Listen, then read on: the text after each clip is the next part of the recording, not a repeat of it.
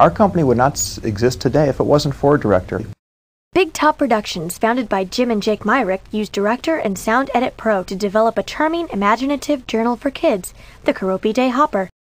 We did not have to develop our own tools, and it's fantastic that we have Macromedia doing all that research and development for us. Their zany and witty style has been carefully honed by their successful experience producing other titles, such as the Hello Kitty CD-ROM and the Yearn to Learn Peanut series for Image Smith.